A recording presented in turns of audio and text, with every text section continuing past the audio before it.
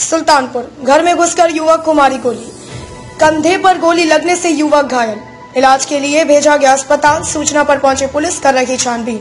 चांदा कोतवाली के गोपीनाथपुर गाँव की घटना। न्यूज़ इंडिया को सब्सक्राइब करें एंड बेल आइकन को प्रेस करें लेटेस्ट न्यूज़ अपडेट के लिए।